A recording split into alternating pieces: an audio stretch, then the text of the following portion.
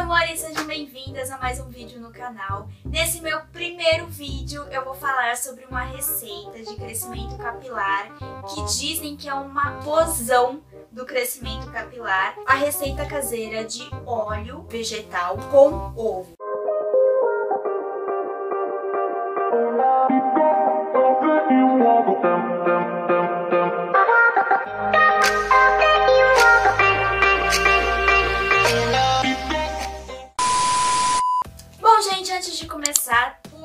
Favor, não se esqueçam de se inscrever no canal, ativa o sininho para sempre poder receber as notificações e lembra que toda terça-feira esse vídeo vai estar tá disponível aqui.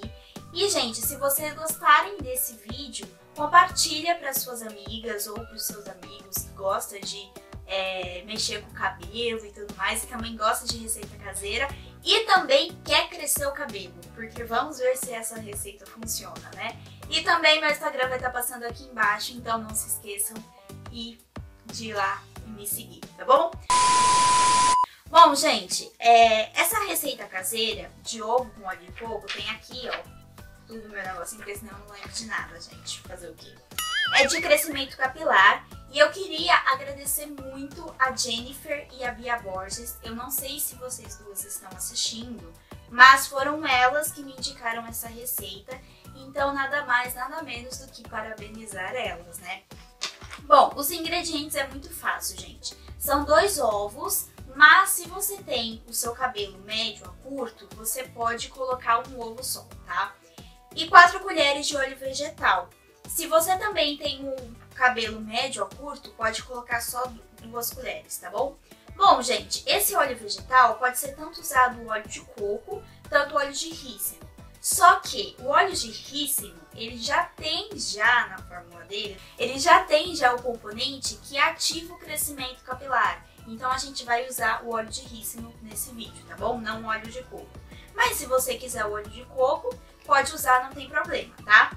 Bom, o modo de preparo, misture os dois ovos e as quatro colheres é, de óleo vegetal, lembrando que no recipiente é melhor vocês peneirarem a gema para tirar aquele, aquele, aquela pelinha do ovo que é meio esbranquiçada, porque é ela que dá o cheiro, gente, tá? Então se você colocar tudo, é ela que provavelmente vai deixar o cheiro ruim no seu cabelo, tá bom? Bom, é, depois você vai passar essa misturinha em toda a raiz. Caso queira passar no comprimento, não tem problema. De contas, o ovo tem muita proteína, então é ele que dá esse, esse ele que dá essa proteína do ovo, né, gente? Que dá essa nutrição maior no seu cabelo e também ativa o crescimento aí dos fios e a reconstrução também.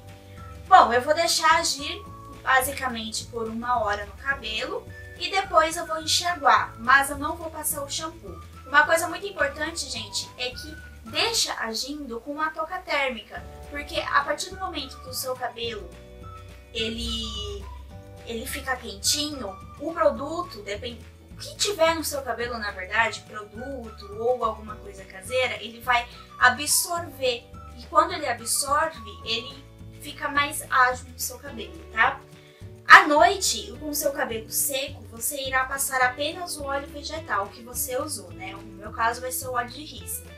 E dormir com ele no cabelo. No dia seguinte, você pode lavar seu cabelo normalmente e finalizar do jeito de costume, tá? Então, assim, você pode fazer quando você for lavar o seu cabelo. Então, vamos supor, hoje eu iria lavar, você passa ele, tá? lava tudo certinho, sem passar shampoo. É claro que você pode passar condicionador, não tem nenhum problema, mas não passa o shampoo, passa o condicionador só para meio que desembaraçar os seus cabelos.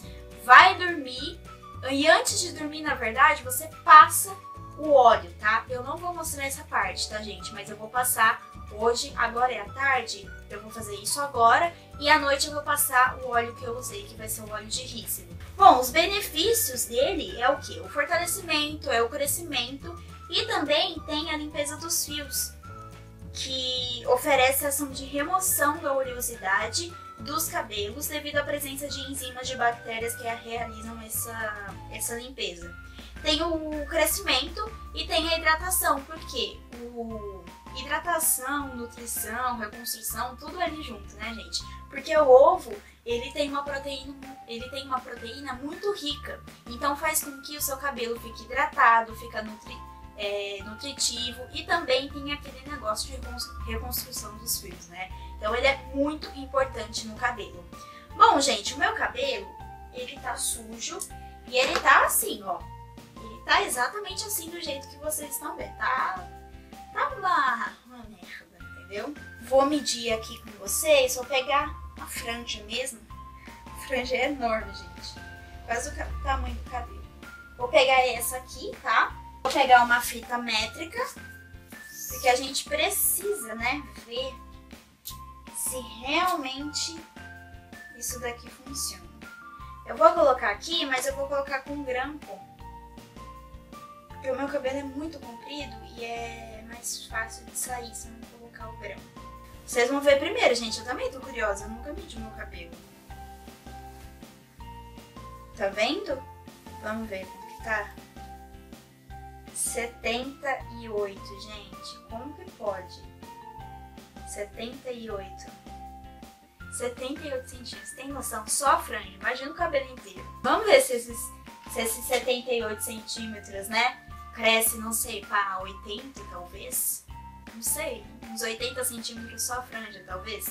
Vamos ver se dá certo, né, gente? Bom, eu vou voltar aqui, né, pra vocês é, amanhã que vai ser no mesmo vídeo, obviamente. E enfim, gente, eu vou voltar amanhã e vou falar pra vocês o que, que eu achei, porque tem o negócio da finalização, né? Se realmente não é nem por causa do crescimento. Essa receita é por causa do crescimento capilar, mas vamos ver como que ele fica, como o meu, meu cabelo vai reagir. E vai sair na semana que vem, porque na semana que vem eu vou ver se realmente cresceu o meu cabelo quantos centímetros. E aí eu vou tirar algumas dúvidas, então se você tiver alguma dúvida, pode comentar aí embaixo. Também é, comenta aí embaixo receitas caseiras e do, e do lado assim coloca o seu nome inteiro, tá? Então comenta aí embaixo que eu quero saber a sua receita caseira, tá gente? Eu tô fazendo esse quadro porque, assim, às vezes no seu cabelo não deu muito certo, né? E vai que no meu dá, tá bom? Já volto, gente. Oi, gente! Bom, é, eu lavei meu cabelo, tá? Eu finalizei, assim, bem rapidinho, porque já tô atrasada, porque eu preciso sair. E enfim, gente, o que, que eu achei da proteína de ovo? Eu achei que ela limpou bastante o meu couro cabeludo, tá? Eu misturei, lembrando que eu misturei ela com óleo de rícino. E eu achei que limpou muito, gente, muito. E aí eu quero falar para vocês que se vocês tiverem alguma dúvida a respeito dessa é, receita, vocês podem estar tá comentando aí embaixo, tá? Porque eu vou tirar é, essas dúvidas na próxima terça-feira, porque eu vou gravar um vídeo mostrando o resultado para vocês, se cresceu realmente ou se tá do jeito que tá. Lembrando que vai estar tá aparecendo aí na tela que é 78 centímetros, aqui que eu peguei, lembra? Tá vendo? Então lembra que 78 centímetros. Daqui uma semana eu volto e aí eu mostro o resultado para vocês, se cresceu e tal. E aí eu já é, respondo algumas dúvidas frequentes. Se não tiver nenhum comentário, nenhuma dúvida tal, eu vou responder as dúvidas assim frequentes que às vezes as pessoas podem perguntar ou se perguntar, tá? Então, é isso, eu espero que vocês tenham gostado desse meu primeiro vídeo. Clique em gostei se vocês gostaram e é isso. Um beijo e até o próximo vídeo.